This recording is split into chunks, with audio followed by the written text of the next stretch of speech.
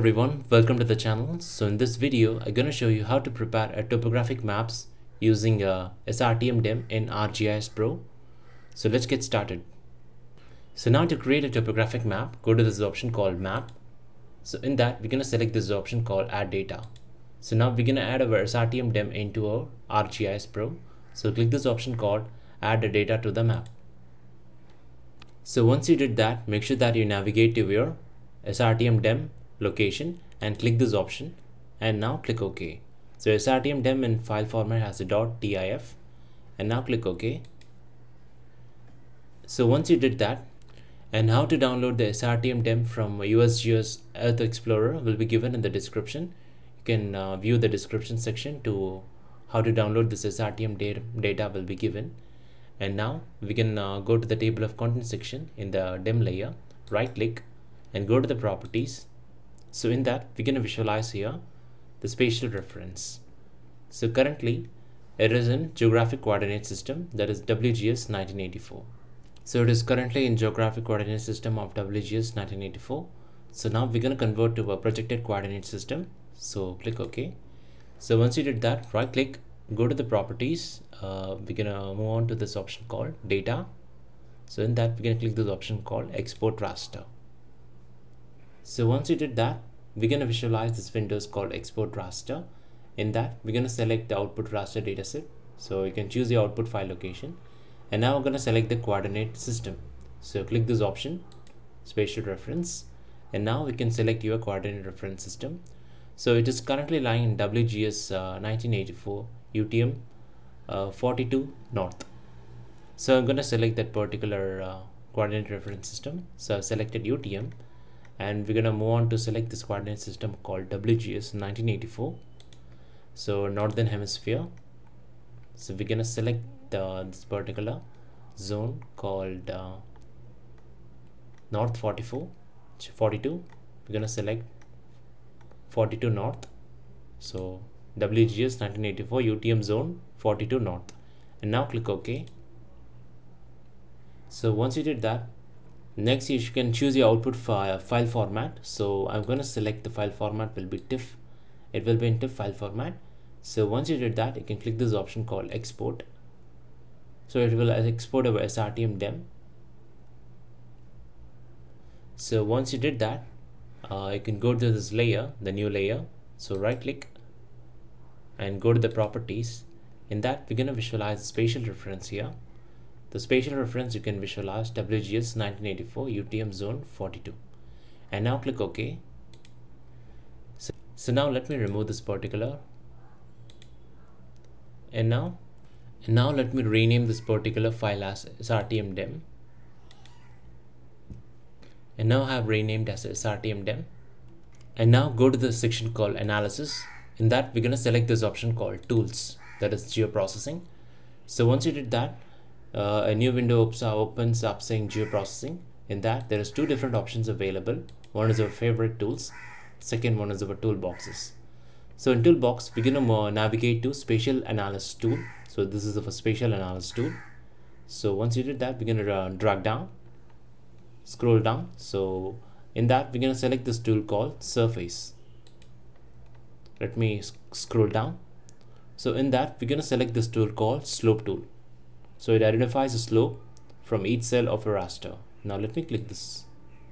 So once you did uh, a slope tool opens up. So in that we have to input our SRTM dem and you can choose the output file location. So you can choose the output file location here.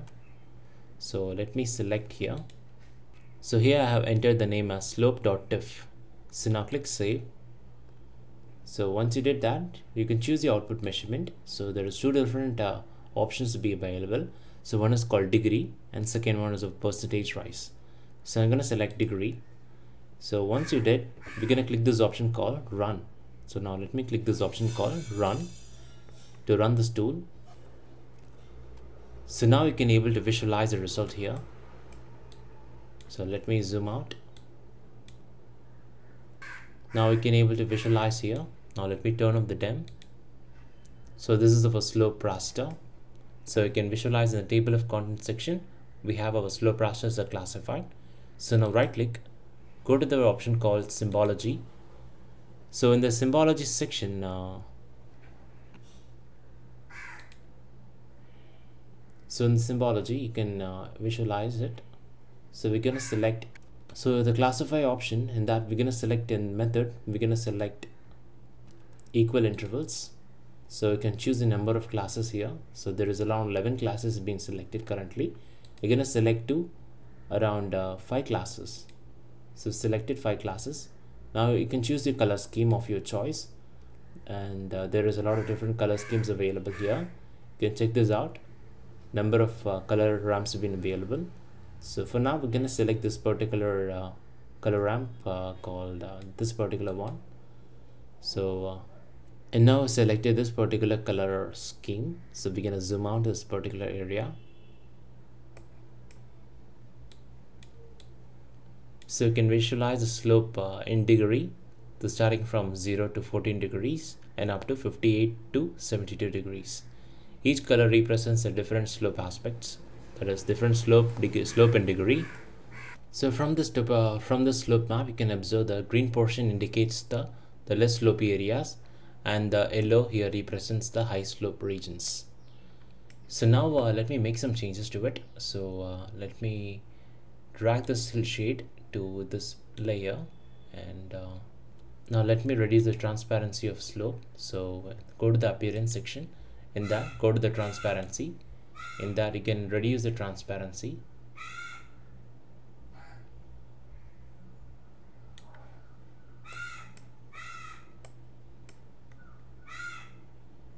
and now you can able to visualize here.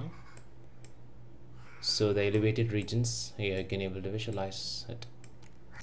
You can adjust your transparency according to your choice. And I think it is okay.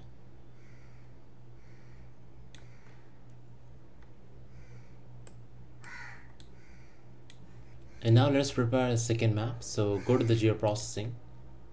So in that we're gonna select uh, we're gonna go back so here we're gonna select our uh, hillshade so we're gonna click this tool called hillshade so hillshade uh, tool opens here. So we're gonna insert our SRTM dem and choose your output file location. Now selected my output file location. Now click save. So once you did that make sure that you leave azimuth and altitude as the default values and click this option called run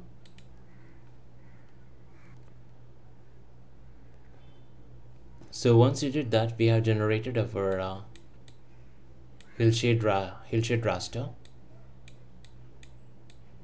so you can visualize here. These are the regions of uh, high elevated areas. So the central part of the study area has a high elevated areas. Compared to the other part has a very low elevation. So now let me show you one more thing. So you can go back to the geoprocessing tool again so in that you can uh, this is a hillshade tool. In that we're gonna increase the z value to 10 and uh, let me uh, change the name of the raster here. So you can increase the z value to visualize the terrain details more uh, more accurately. So you can just visualize it now. I'm gonna click this option run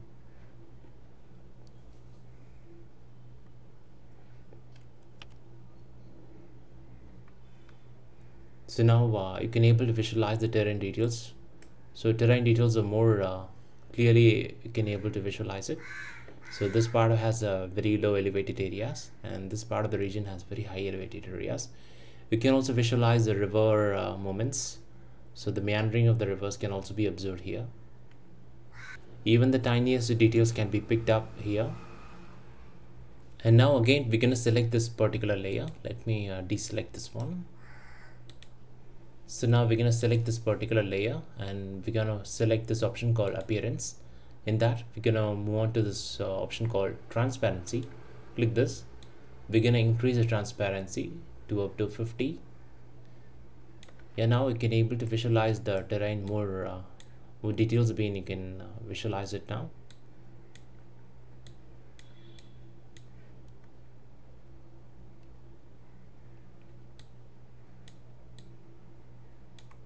so now again move on to this tool called uh, go to the section called analysis. We're going to move on to the, our tools. So in that we're gonna select this uh, tool called aspect. So this particular tool called aspect.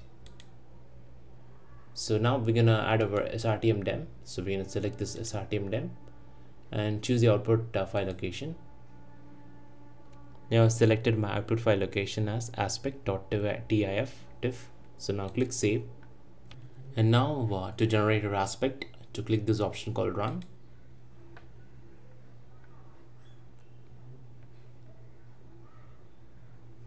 So now we can visualize our raster dem. That is our aspect uh, raster.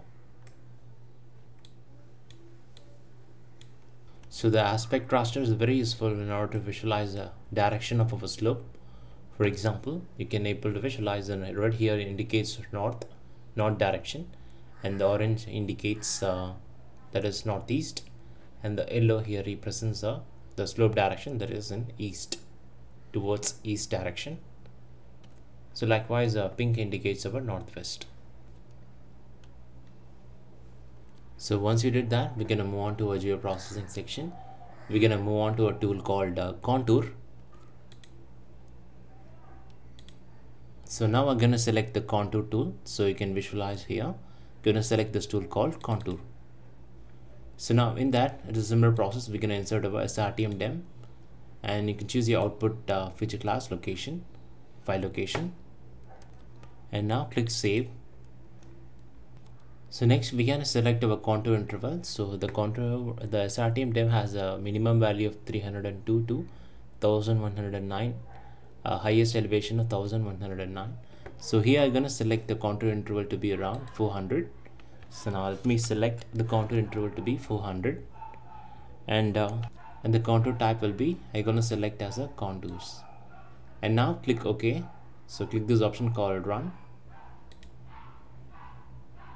So I have to enter the 400 here. I just made a mistake.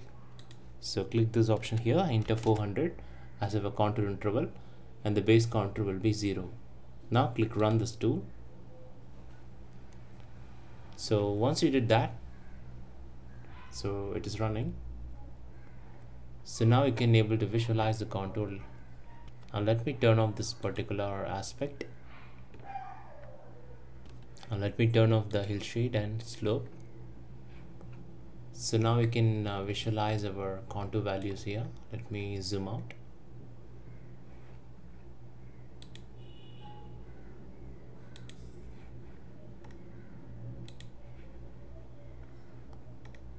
so now I can be able to visualize our contour here. Now let us take a look at the contour. Right click and open the attribute table. Click the option called attribute table.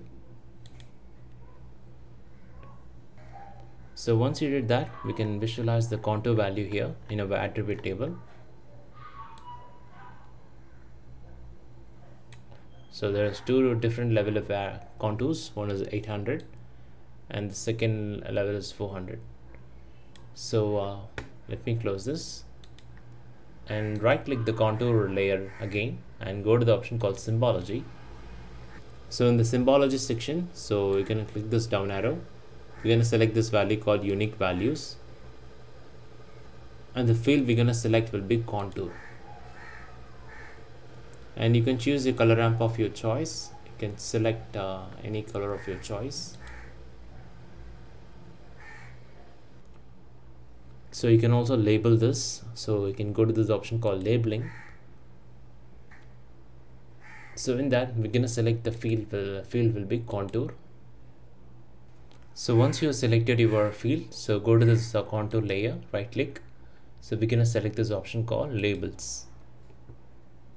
So once you did that the contour uh, values appears here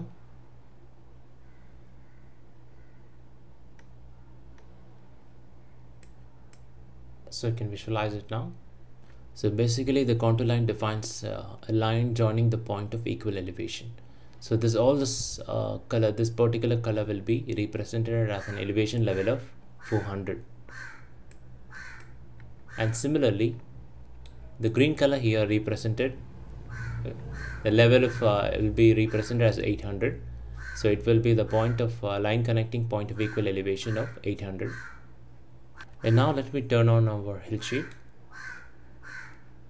so you can visualize this part of the region has a very high elevated areas. So you can able to visualize that. Compared to this, this region has a lower elevation.